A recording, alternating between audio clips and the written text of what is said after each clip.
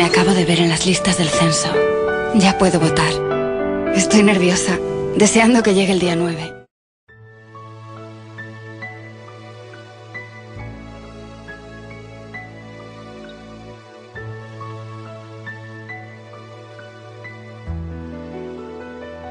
No puedo creer que ya tengo 18. Ya puedo votar. Ya quiero que sea 5 de julio.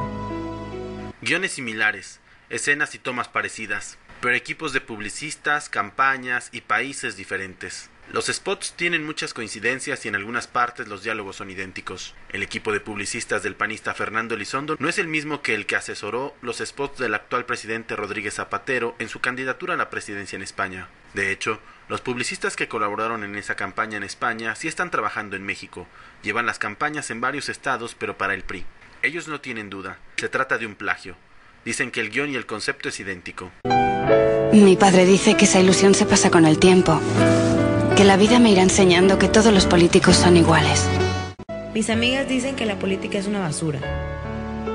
Que todos los políticos son corruptos y mentirosos. Para Patricia Aguirre, encargada de las nuevas tecnologías del PRI e integrante del equipo de publicistas del Revolucionario Institucional, es reprobable que Antonio Solá pueda copiar ese spot cuando dirigió la campaña de Rajoy en España y ahora en México tome las ideas de la campaña de Zapatero que tanto criticó.